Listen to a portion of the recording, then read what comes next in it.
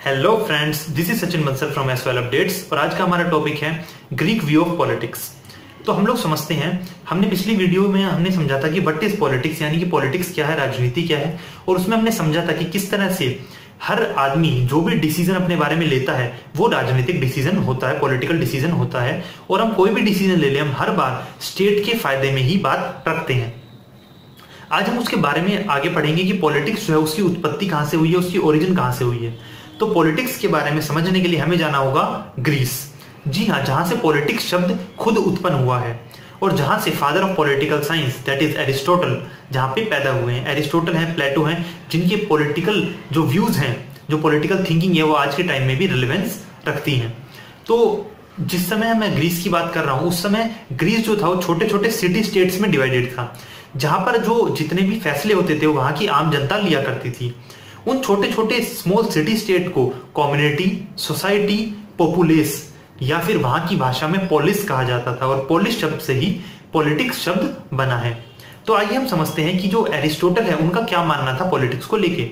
तो एरिस्टोटल का मानना था कि politics politics is concern with general issue that is affecting the whole community यानी कि जो पूरी पूरी समाज है, उसको जो इश्यूज़ अफेक्ट करते हैं, उसके बारे में बात करना उसके बारे में डिस्कशन करना यही पॉलिटिक्स है। पॉलिटिक्स से एरिस्टोटल कहना था कि पॉलिटिक्स से कोई भी अछूता नहीं है पॉलिटिक्स से कोई भी अलग नहीं है।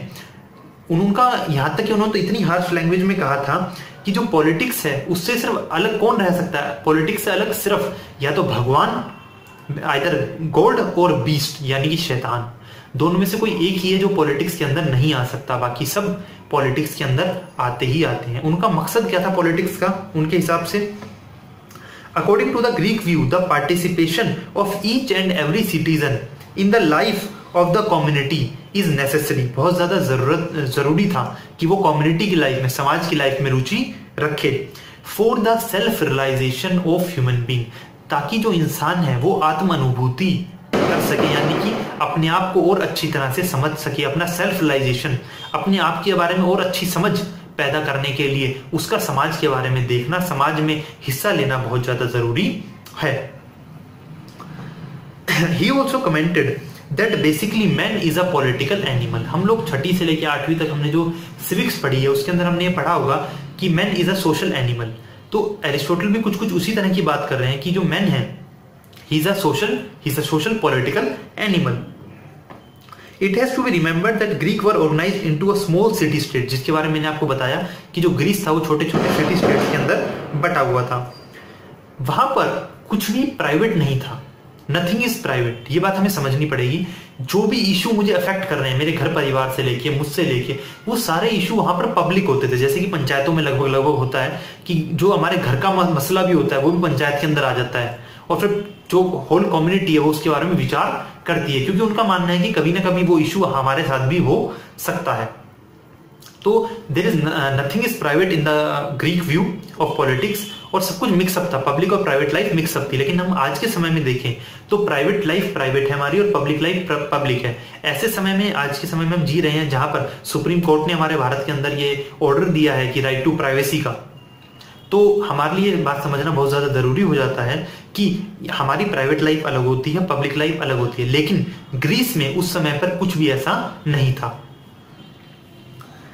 The Greek also stressed that the purpose of the politics is to enable man to live together in the community and also lead a high led a high moral life यानी कि उच्च नैतिक ज़िंदगी वो जिए। जैसे कि महात्मा गांधी कहते थे कि सादा जीवन, उच्च विचार। तो उसी तरह से उच्च विचार की बातें हो रही है यहाँ पे, कि जो ग्रीस थे, उन ग्रीस थे, उनका मानना था कि जो इंसान है, वो कम्युनिटी के अंदर पार्टिसिपेट करे, और ये क्यों ज़रूरी है? ताकि वो उच्च विचारों वाली ज़िंदगी जी सके।